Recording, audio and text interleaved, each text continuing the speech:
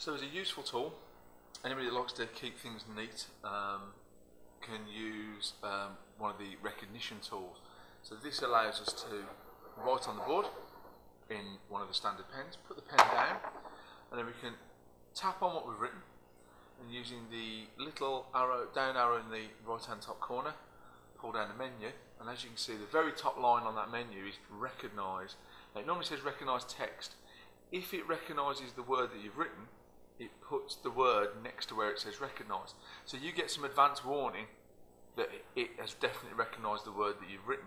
And if you tap on that, it neatens up that text and puts it into type. So it's a, a form of, of text recognition. So we could be looking at a motor vehicle class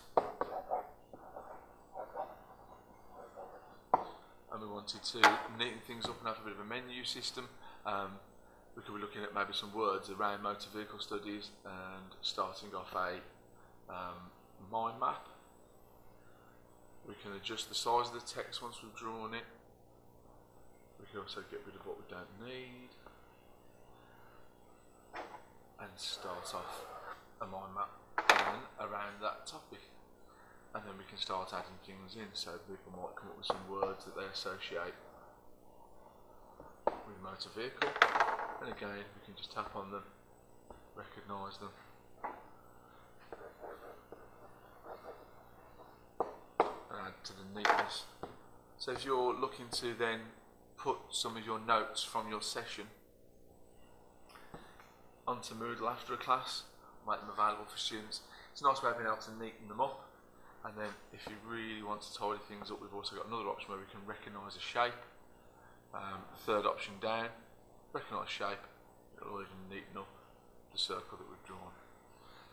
That option can work with circles and squares, so we can draw a square, very rough square, and then by recognising shape, neaten that square up and use that wherever we want to.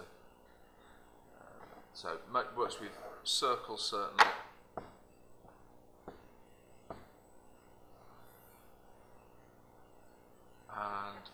squares or rectangles.